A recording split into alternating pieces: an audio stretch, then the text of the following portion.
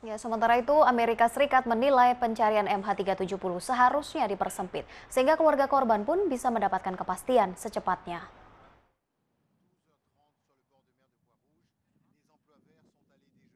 Penemuan puing pesawat di Pulau Reunion, Prancis, Samudra Hindia membuat titik terang bagi tim pencari Malaysia Airline MH370.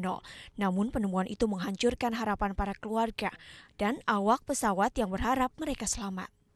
Menteri Luar Negeri Amerika Serikat John Kerry mengatakan penemuan pesawat MH370 membuka luka lama misteri hilangnya MH370.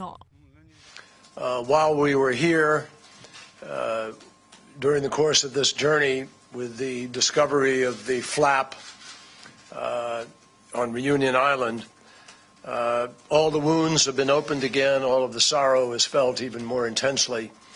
Uh, and there are no words to express adequately our sense of loss and our sense of heartbreak to the families of the victims.